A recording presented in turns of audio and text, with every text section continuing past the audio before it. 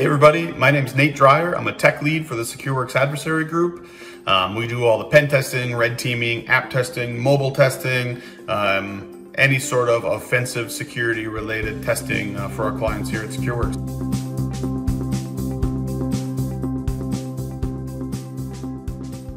A user in your finance department clicked on an email they're not supposed to, they went to a website they're not supposed to. Now their system's compromised or infected with malware. Um, can the attacker, from an internal uh, internal network perspective, can they bypass internal firewalls? Can they get past antivirus? Can they um, basically bypass any internal security controls and compromise target data? But for a ransomware simulation, we're caring less about the data and more about the access. That it closely emulates what the what the real bad guys are, are doing out there for human operated ransomware, pre-ransomware scenarios. So things like capturing passwords, uh, scraping credentials out of memory, uh, pass the hash, Kerberoasting, lateral movement, post exploitation. We would start inside your, your internal network. The ransomware simulation kind of comes preset with two main goals. And one is to find and compromise critical backup infrastructure, because that's what the real bad guys do, human operated ransomware. They want to target backups and delete, disable, destroy, corrupt them. Uh, so it's more difficult to recover.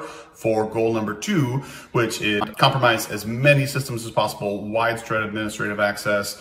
For us, typically in a general Windows environment, this is domain admin. We want administrative access to as many systems as possible because the threat actors want to encrypt as many systems as possible to cause the largest disruption.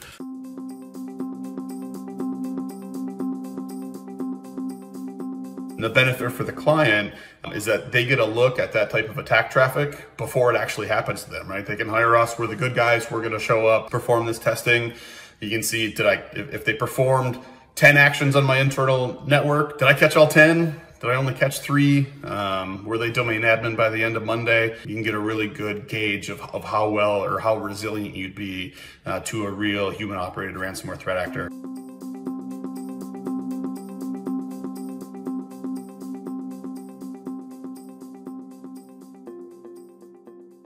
We do have a mock ransomware executable uh, that we can deploy on systems. It doesn't encrypt anything. It's totally benign. All it does is collect the system's host name and push it to a system we own. But if you need that proof of concept um, for code execution on a sampling of systems, we can absolutely provide that as part of the service too.